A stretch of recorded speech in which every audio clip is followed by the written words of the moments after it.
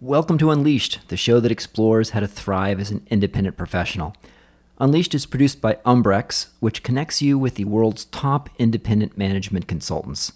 I'm your host, Will Bachman. This episode is US specific, as I'm going to discuss the Paycheck Protection Program, which is an element in the CARES Act passed by Congress yesterday. CARES stands for coronavirus aid, relief, and economic security. And I always wonder if they have someone in Congress whose job it is to come up with these catchy acronyms. The Paycheck Protection Program is a pretty amazing deal, and incredibly enough, independent professionals, the self employed, and gig workers are eligible. Today, I've read the actual text of the bill, at least the relevant part, which is Section 19002 Paycheck Protection Program. I've also read multiple articles on the Paycheck Protection Program, and they all pretty much say the same thing as what you'll find in the bill, just in a bit plainer English. Understanding this program is important to all of us running small businesses so we can apply for these loans uh, expeditiously. As I mentioned in episode 234, Umbrex has put together a task force of consultants who have volunteered to advise businesses on a pro bono basis uh, helping small businesses navigate this program is one of the areas we expect to see a lot of demand. Uh, if you own a small business and you're looking for support, you can sign up to request help at umbrex.com. Just click on the pandemic playbook link in the menu bar. And if you are a consultant interested in volunteering to advise businesses pro bono, on that same page, there's a separate link for you to sign up to volunteer.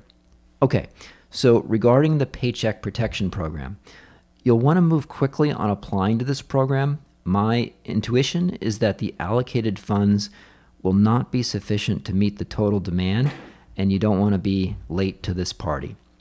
Uh, the program has 349 billion allocated to it.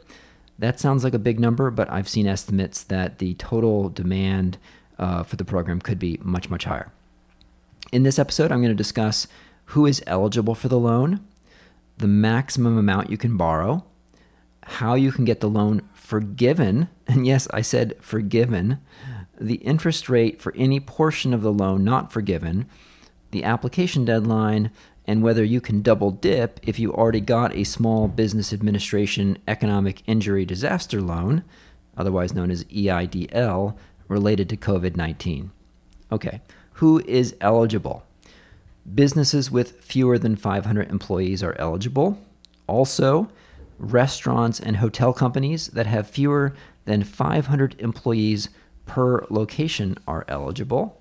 Also, tribal businesses, 501c19 veteran organizations, 501c3 nonprofits, including religious organizations, and sole proprietors, independent contractors, gig economy workers, and the self employed are all eligible as well, which is pretty awesome. You do not need to show that you've lost business due to the coronavirus, or that you've gotten sick from it, or they've had your doors shut by down a lock by shut by a lockdown order. They made this thing with very few strings attached, and they just seems like Congress wants to shovel money into the economy as quickly as possible and make it easy for people to apply. Okay, how much can you borrow?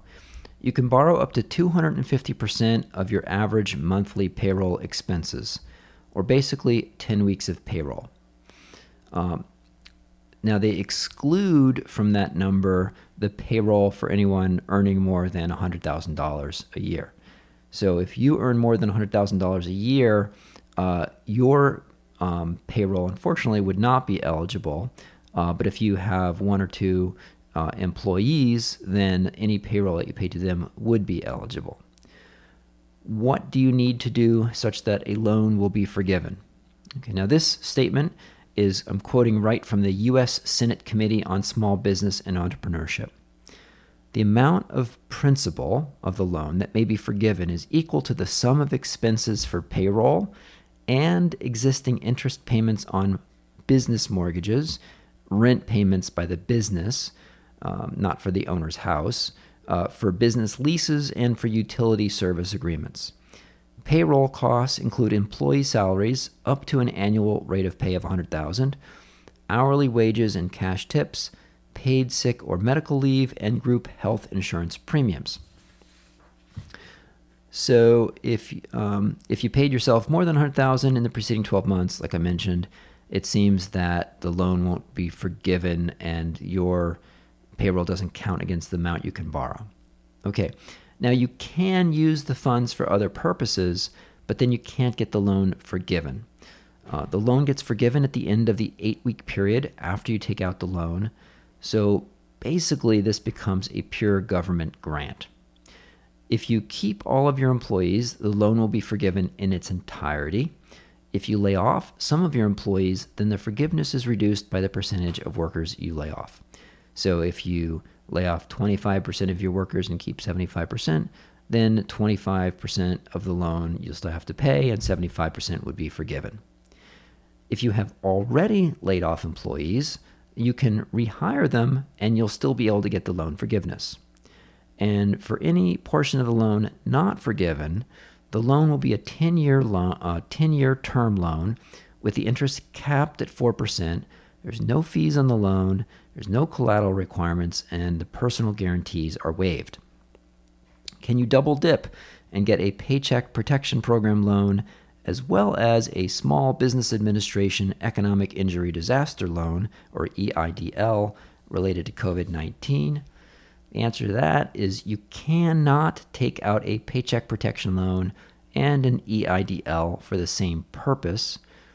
However, if you've already taken out an EIDL, which does not have the loan forgiveness, I believe, uh, you can convert that into a paycheck protection loan, which does have the loan forgiveness. So you, you can convert it over. How to apply? So you can apply for this at you don't apply directly to the Small Business Administration.